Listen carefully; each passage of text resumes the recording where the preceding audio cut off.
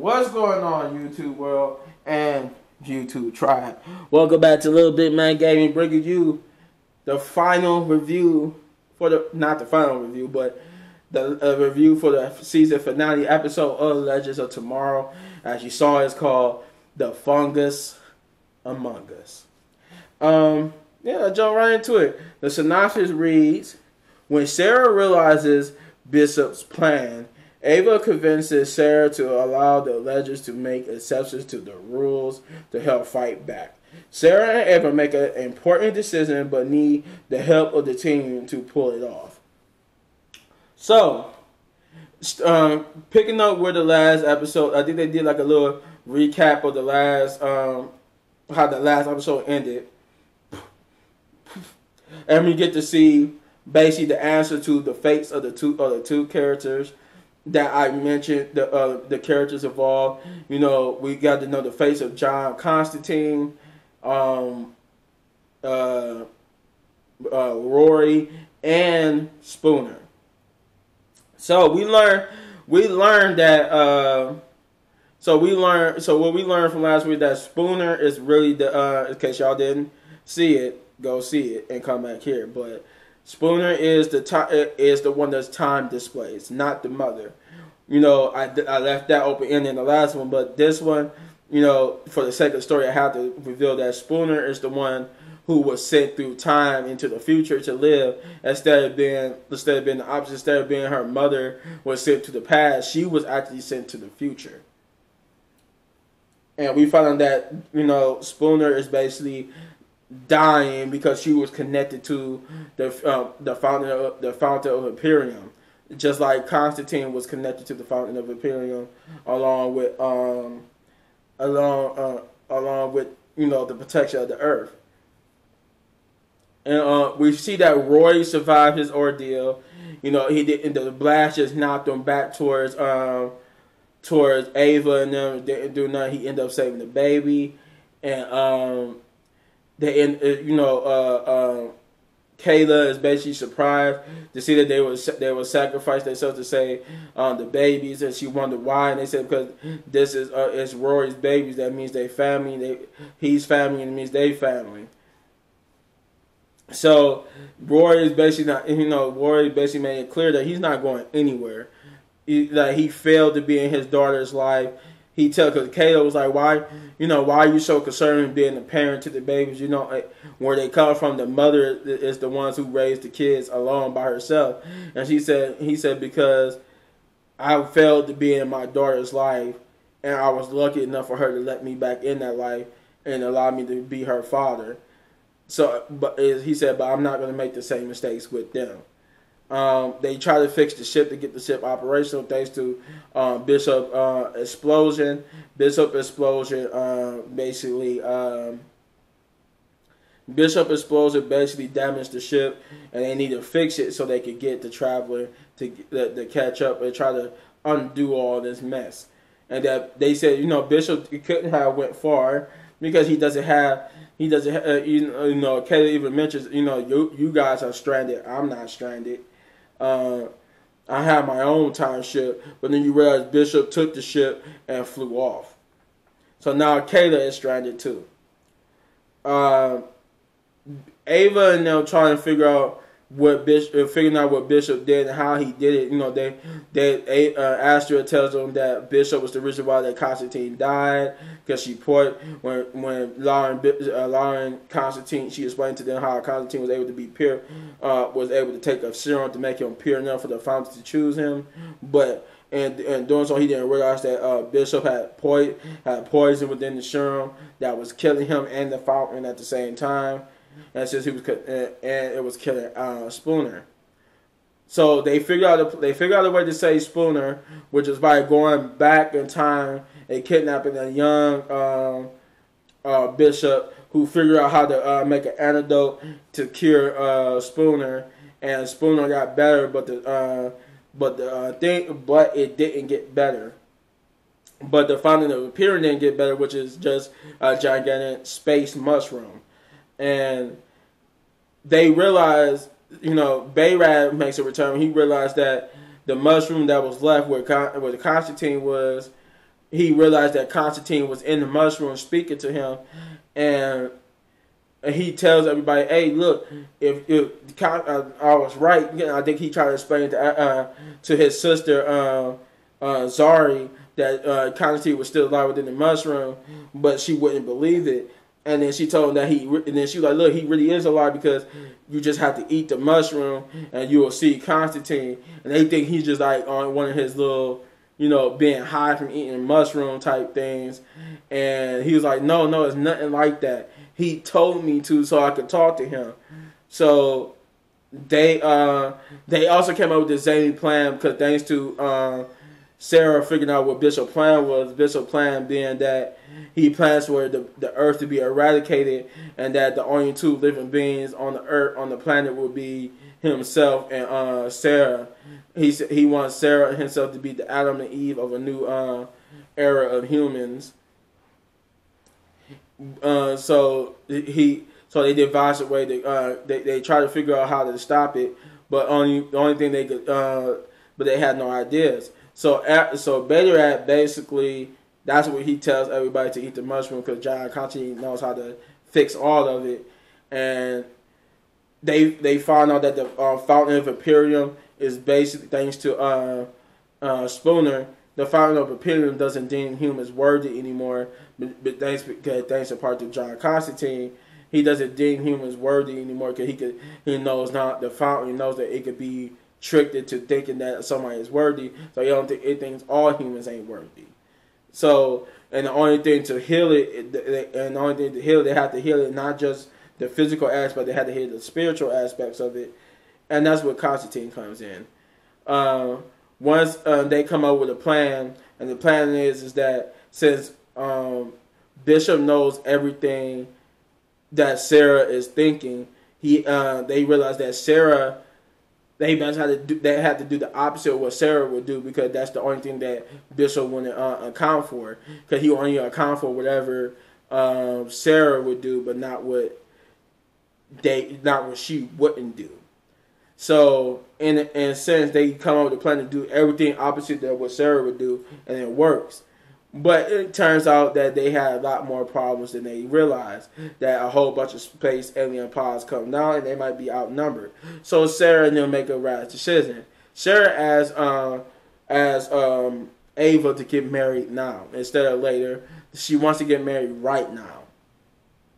So they, you know, she's like, "What? You know, we can't do this right now because you know the wedding got to be perfect." I had this whole idea for being a perfect wedding, but then she realized you know, Sara her like we're not perfect and we never really been perfect, and that's the reason why we are perfect because we're not perfect, and we and this is the perfect way of doing something zany and crazy like this.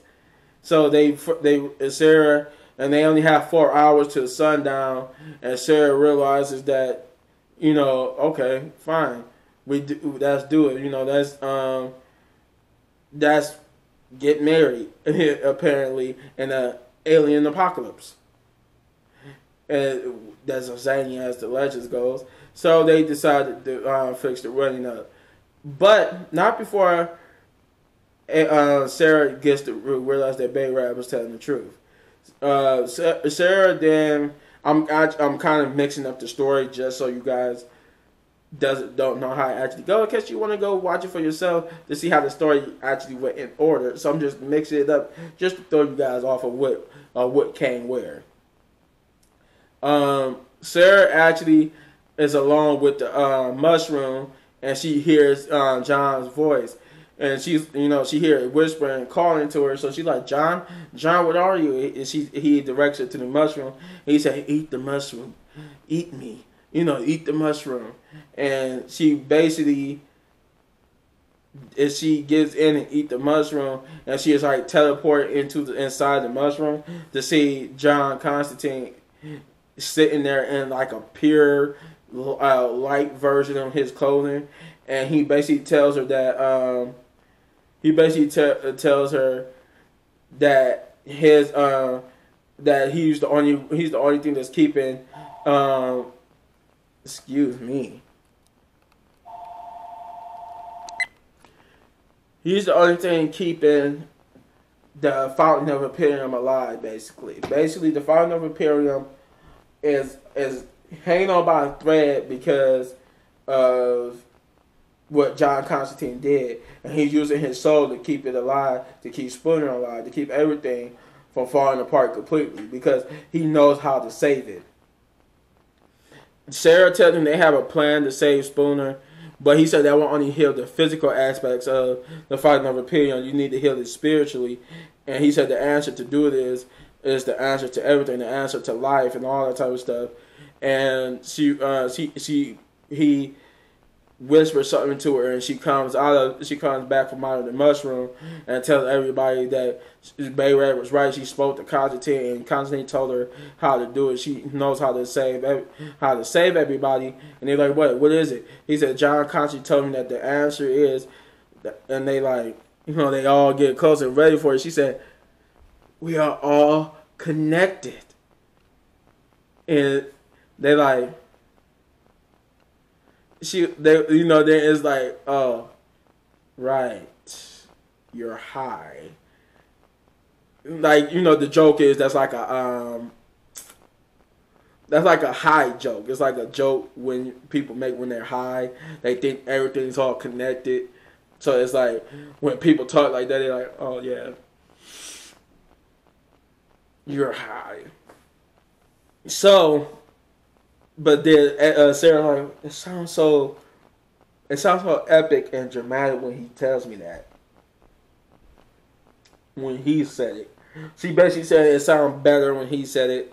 Uh, but yeah, they come up with a zany plan. They end up saving, saving Spooner, and they end up putting a shotgun wedding together.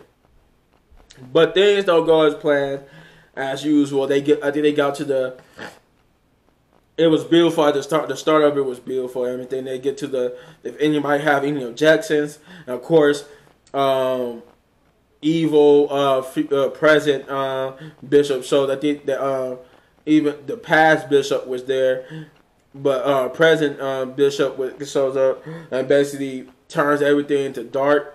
Somehow he somehow made nighttime come sooner. It tells him that. That he, you know, nobody's going to be left in the world but him, and um, but him, and um, and Sara, and, and like nothing's going to stop that. And he said, but he said, you know what? Where's a wedding without some wedding crashers? And the pods for the aliens open up. Um, they uh, and uh, they they was getting ready to stand the fight till they realized it was a arm. It wasn't just them. It wasn't just that little group of pods, uh, army of pods that they saw. It's a actually a whole platoon of armies that was busting out of the forest. So they realized it was more than what they thought it was. So they had they go inside Spooner's uh, house, her family house that her mother built for her, and they they hold down the fort and try to fight them off. And this is where John Constantine, we are all connected, comes into play she they realized that uh, because in an argument about what to do, Spooner tells tells everybody to stop arguing, and she accidentally like he uh, they Behrad, Behrad had got bitten by the aliens, and um, this this is how uh, uh, Sara died on the planet. Cause she reveals it, and this is how I died. I got bit by one of the aliens, and they give you like this this affection. But the only is only the only way she think to uh, stop the affection is cut off Behrad's um, arm.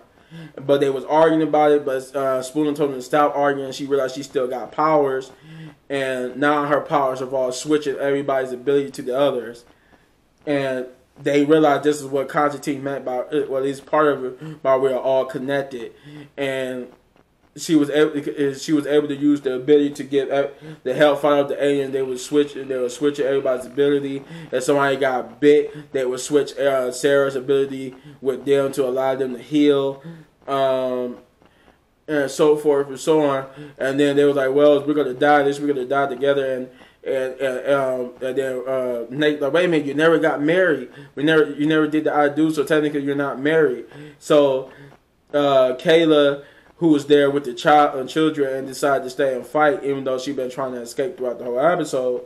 Uh, who has a check to her? She turns she turns into an alien form te- before turning to an alien form, she tells them they they better hurry up with it before she changed her minds. Then she turns into an alien form to hold on to hold off the aliens, giving them uh, just enough time to get the fans getting married before they died. Um, she she does do that. She uh, she does give them enough time to get married, and something wonderful happens. Something wonderful happens, and basically that was the key to everything.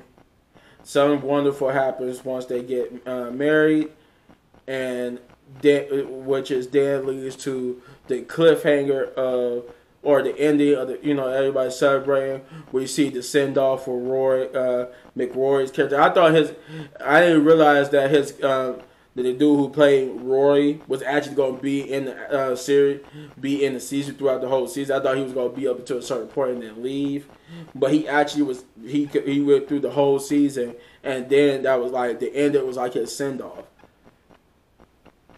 He got his end. It was his send off as he as he realized that he wanted now that he's a parent, he wants to be a parent more than a legend, and realize he uh, that's what his exit departure was. You know, he got to he went to go be with Kayla and be a parent. Um, uh, the legend's not happy, you know, and and that they, they avert disaster. They get ready to go to the uh, ship, and something happens to the ship, which is the cliffhanger leading to next season. So, if anything, if I get this, if I get this episode, anything, this episode got a big. No, I'm generous. I give it a big nine, big ups, because it wasn't a, it wasn't, a, it wasn't a, a perfect ten, but it was, you know, for its zaniness and its wackiness, it was the, it was what it needed to be so it, it got a nine big ups for me. I had you know I had no plot error. I had no nothing. I'm glad Behrad finally was able to show after being missing for I think like two or three episodes. Um, but yeah, the episode was good. You know, I enjoyed it. I enjoyed this little cliffhanger and what and what the possibility for the future it may hold. Plus, I already know that the Armageddon um, that they they announced that the crossovers are coming back, but instead of being like a multi-story over a couple over different shows crossover, it's gonna be it just the crossover is gonna take place as the first like four or five episodes of the Flash, where it's gonna have people from the different shows, but it's, like I said, it's just gonna be uh, five, four or five episodes of the Flash before it goes on into the whatever the the, the next season of the Flash would be about. But yeah, they call they call it Armageddon. But that's it. That's all I got. And if you enjoy this video, hit this button up there in the upper right corner for all of my uh, reviews. And if you really enjoyed the video and want to support the channel, hit that like button, hit that subscribe button, and hit that notification button so you get notified when I drop videos. And as always, hit any one of these videos for more of my amazing content. Um, yeah. Yeah, that's it. Uh, I'm out. I'm gonna take me some well deserved break. I've been in your face. I think I uploaded every day last week up until now. Like I've been uploading crazy. I gotta take me a break to recharge the juices. Uh, I don't think it's gonna be a Nintendo Day Wednesday. I don't. Yeah, I don't know. I might be back. I'm gonna take a break, but I'll probably be back like Saturday, maybe Friday or Saturday. Depends on how it feels. Friday, Saturday, and we'll see what type of games I continue to play. Um, but yeah, that's all I got. Peace. See you in the next one.